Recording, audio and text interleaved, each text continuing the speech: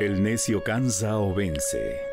El Señor ha dicho, pidan y se les dará, busquen y hallarán, llamen y se les abrirá la puerta, porque el que pide recibe, el que busca encuentra, y se abrirá la puerta al que llama. Mateo capítulo 7 versículos 7 y 8. Es así, insistiéndole al Señor que lograremos conmover su corazón y arrancarle la bendición que estamos esperando. Eso fue lo que sucedió con la mujer cananea que logró conmover el corazón de Jesús y arrancarle, aunque no lo merecía, una gran bendición para su hija. Ella insistió tanto que Jesús, en su misericordia infinita, no podía dejar de darle lo que ella necesitaba. La Biblia nos narra este acontecimiento.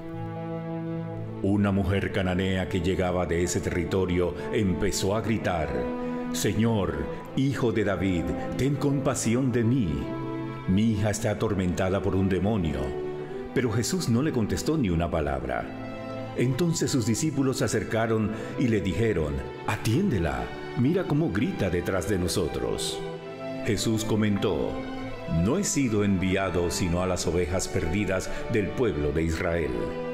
Pero la mujer se acercó a Jesús y puesta de rodillas le decía, Señor, ayúdame. Jesús le dijo, No se debe echar a los perros el pan de los hijos. La mujer contestó, Es verdad, Señor, pero también los perritos comen las migajas que caen de la mesa de sus amos. Entonces Jesús le dijo, Mujer, qué grande es tu fe, que se cumpla tu deseo y en aquel momento quedó sana su hija. Mateo capítulo 15 versículos 22 al 28. ¿Fue duro Jesús con esta mujer? Muchos pudieran pensar que sí, pero en el fondo quizás lo que Jesús quería era medir la fe de esa mujer y valorar su humildad. Porque ciertamente la fe, para que sea verdadera, debe estar fundamentada en la esperanza y en la confianza, pero también en la humildad de aceptar que nada somos y que nada merecemos. La mujer cananea se olvidó de las palabras duras de Jesús y se concentró en lo que ella creía y esperaba. Fue humilde y aceptó que ella no merecía nada, y su humildad logró no solo deslumbrar a Jesús, sino conmoverlo, y así arrancó la bendición que estaba esperando. Hoy esa historia se puede repetir. Si clamas, si pides con insistencia, lograrás tocar el corazón de Dios. Oremos. Señor, sé que nada merezco, que no tengo nada que ofrecerte más que mi corazón deshecho, que mi vida llena de problemas y sufrimientos, pero de rodillas, hoy clamo a ti, te pido que me ayudes.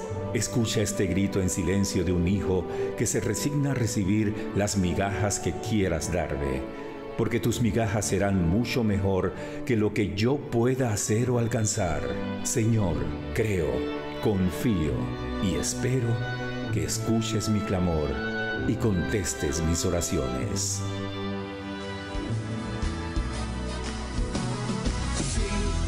Es un murmullo muy cerca de ti. Es un ángel llegando para recibir todas tus oraciones y elevarlas a Dios. Hoy abre el corazón y comienza a alabar. El gozo del cielo está sobre el altar. Hay un ángel llevando bendición en sus manos. Señor.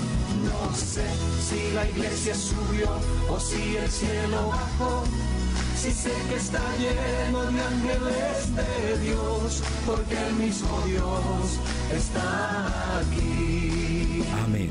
Cantemos con alegría. Hay ángeles presentes en este lugar, en medio del pueblo y junto al altar subiendo y bajando en todas las direcciones.